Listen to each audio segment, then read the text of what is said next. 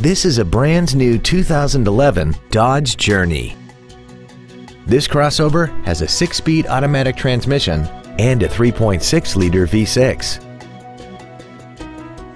Its top features include air conditioning, heated side view mirrors, a rear window defroster, a CD player, a security system, fog lamps, traction control, an anti-lock braking system, a keyless entry system, and aluminum wheels.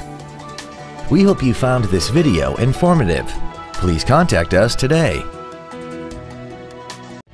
Come experience the Drive Baby Advantage here at the Milton Ruben Superstore.